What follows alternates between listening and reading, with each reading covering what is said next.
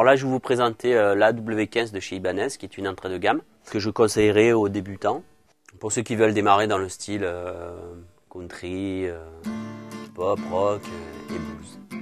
Donc c'est une guitare qui a l'aspect vernimat, un look très très folk, avec une belle table en cèdre, des éclisses en acajou, le fond en acajou, manche en acajou, de très belles mécaniques avec une petite plaque tortue.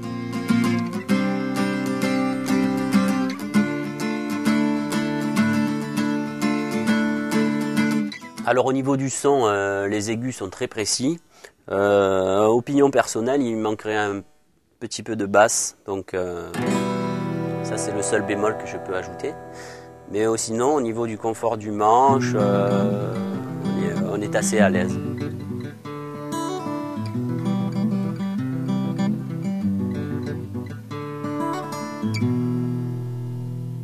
Alors conclusion, c'est une guitare euh, entrée de gamme.